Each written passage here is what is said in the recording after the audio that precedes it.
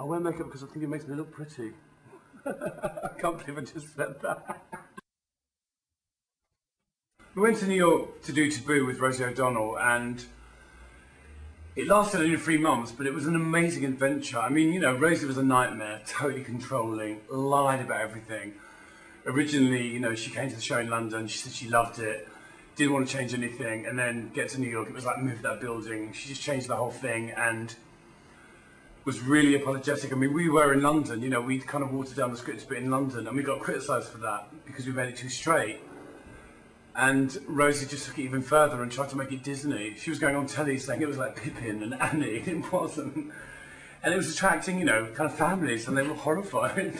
I would kind of come out of my tutu, and they just weren't ready for it. Really, it was just too much, you know.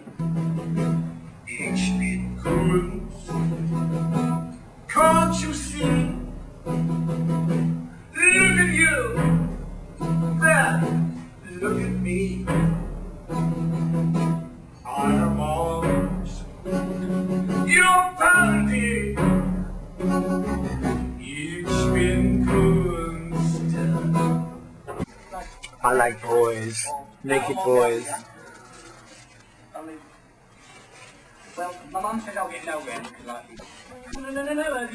It annoys me that anything that goes wrong in my life is kind of related to this idea of me being kind of failure, washed up superstar. Even if I am, I don't feel like that. I mean, I think that I have a kind of destructive nature, and now and then things spiral out of control.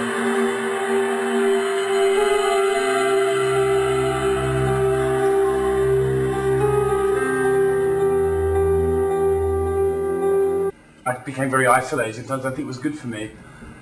So really, being arrested was like a knock on the head.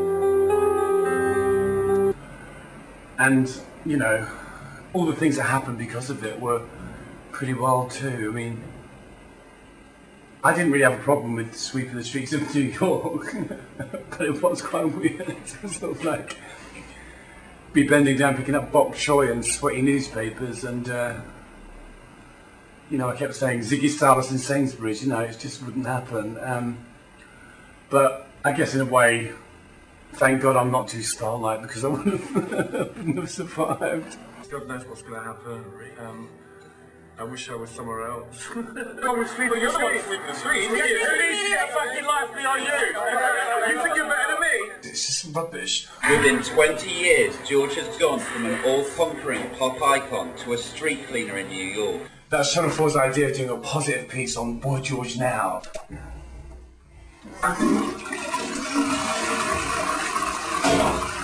Rule Britannia. You're a modern icon, they said. We want to do a piece on the Boy George of now. Really positive, uplifting piece about what you're doing now. What a bunch of phony lies. My own fault for taking the money. 20 grand for my soul, putting on eBay.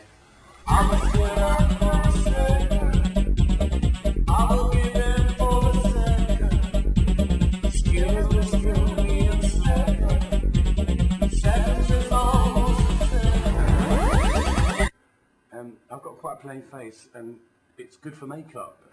I was always being told to shut up as a kid. You know, I was really mouthy and opinionated, and I just wanted to be old. I remember just always wanting to be old.